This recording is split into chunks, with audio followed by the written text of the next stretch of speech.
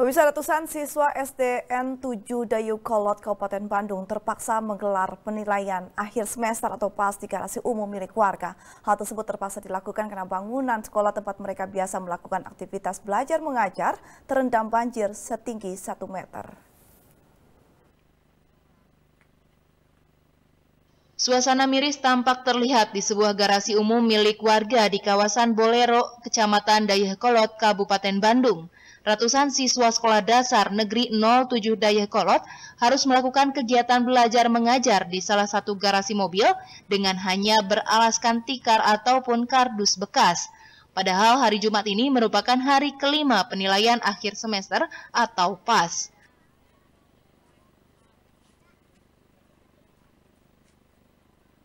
Hal ini terpaksa dijalani siswa dan guru SD Negeri 07 Dayakolot karena bangunan sekolah tempat biasa mereka melakukan aktivitas belajar mengajar terendam banjir setinggi hampir 1 meter usai hujan deras yang mengguyur wilayah kota Bandung dan sekitarnya pada Kamis sore hingga petang.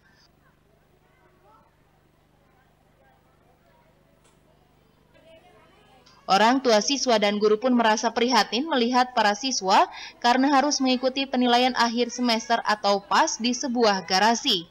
Terlebih hanya beralaskan tikar tanpa meja dan kursi. Mereka pun berharap pembangunan sekolah yang kini tengah dilakukan segera rampung agar tidak tendam banjir lagi saat musim penghujan tiba. Kan banjir Pak sekolahnya, oh, di, lagi, lagi dibangun sekolahannya, terus si jalannya kan banjir gitu. Sebagai orang tua gimana nih Bu perasaannya lihat anak UAS di garasi? Ya gimana Pak, gimana lagi dah sedih mas sedihnya miris banget lihat anak-anak.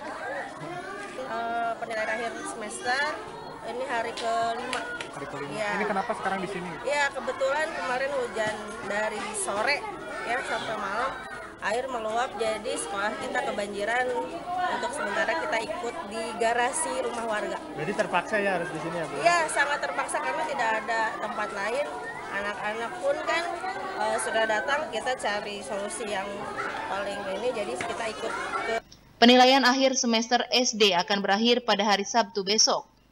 Kawasan Bolero, Kecamatan Dayakolot ini merupakan salah satu wilayah langganan banjir saat musim penghujan tiba.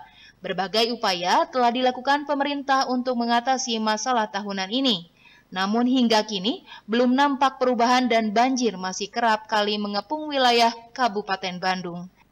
Rezi Tia Prasaja, Bandung TV